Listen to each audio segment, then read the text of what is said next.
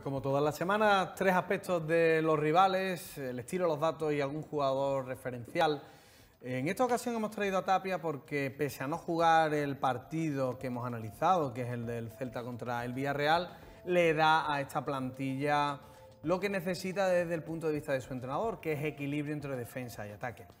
El futbolista que ocupó su demarcación, la de mediocentro defensivo, en este 0-4 ante el Villarreal, fue Okayukuslu. Eh, la verdad que no estuvo tan acertado como lo suele estar Tapia, porque no le pudo dar al centro del campo esa contundencia y sobre todo esa salida de balón.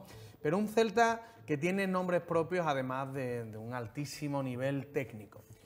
Ese nivel técnico le permite eh, tener unos números, como están viendo ustedes, del 56,8% de posesión. Por lo tanto, ante todo un Villarreal, el Celta quiso el balón, lo obtuvo, pero le faltó lo más importante en el fútbol, que es el gol. Pocos remates ante un Villarreal que remató seis veces entre los tres palos por tres veces del conjunto de Celta. Fíjense también la zona de ocupación. En la parte media eh, se aprecia la querencia por el esférico y es en la parte del ataque donde tanto Santi Mina como Denis Suárez pues juegan a ese fútbol de ocupación y creación de espacio.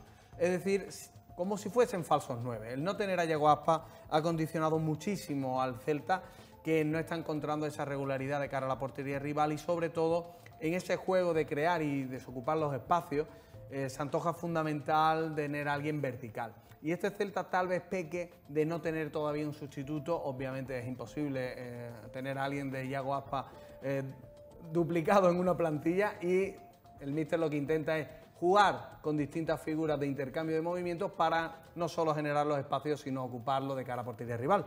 Y aquí se ve perfectamente ese triángulo invertido, con Kulu eh, siendo el jugador que está ahí detrás, eh, posicionado con Santi Mina, Denis Suárez, Baeza y Méndez también eh, ocupando toda la franja media del ataque.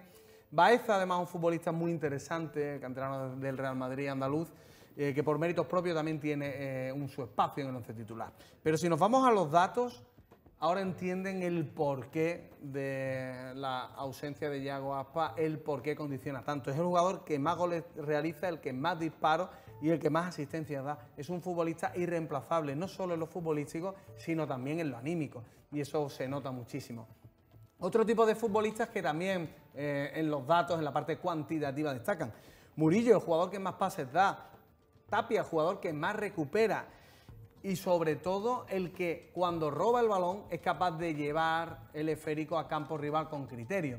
En ese triángulo defensivo y sobre todo en ese rombo en el centro del campo, tener un futbolista como el internacional es muy importante porque te genera esa ocupación de espacio, es el futbolista además que cuando tiene el balón no solo recupera, sino que realiza más entradas, que después cuando lo recupera da credibilidad a la fase ofensiva y sobre todo en un equipo como el Celta, que juega con tantos medias puntas de campo hacia eh, rival, tener un jugador que te guarda la espalda es fundamental.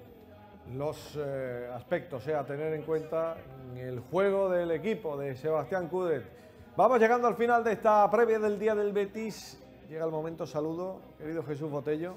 Sí, pues mira, eh, hoy me vas a permitir hacer dos porque un aficionado que nos ve por Instagram nos ha pedido que saludemos a sus padres, Ana y a José María Montero, su hijo José María, así que eh, saludados quedan. Y también a Rafa Lobo y a Rosa González, dos béticos de pro de Araal, que han sido papis, así que otra bética que llega a nuestra gran familia. Yo a uno de esos amigos ¿no? que te acompañan desde la cuna, mi amigo Manolo, amigos de estos para, para, toda la vida, sin ningún lugar a duda, con los que he compartido grandes momentos, también grandes momentos en el Estadio Benito Villamarín y por todos los momentos que nos quedan por compartir. Bueno, pues eh, yo voy a saludar eh, a un gran aficionado de Palomares, eh, tan bético como luchador, tan luchador como bético. Un saludo a Paco Caro, que esperemos que, que bueno, que pueda disfrutar hoy como todos los béticos de un triunfo de nuestro equipo. Nada, un mini saludo que es que nos han saludado en estas franjas de comentarios. Eh, de, sí, desde Rutia, que sí. Exacto, bien, bien. Aquí, entonces pues... Están todas en su botello. ¿eh? Hasta que no vaya a Botello a bautizar el burro a Rute... No, no, el del bautizo, ¿eh? el del bautizo es usted, ¿eh? Yo vuelvo los folgorones. Bueno, pues eh, ahí tenemos el momento en el que nuestros jugadores ultiman el calentamiento con esos lanzamientos a portería. Momento en el que despedimos también a nuestros compañeros para que se centren en las tareas radiofónicas y bueno, pues se enfilen camino hacia las tribunas, afortunados ustedes, ¿eh? hacia las tribunas del eh, Estadio Benito Villamarín. Gracias Julio, gracias Botello. Gracias compañeros, esperemos volver con una sonrisa significaría que hemos sumado tres puntos. Pues sí. A usted siempre.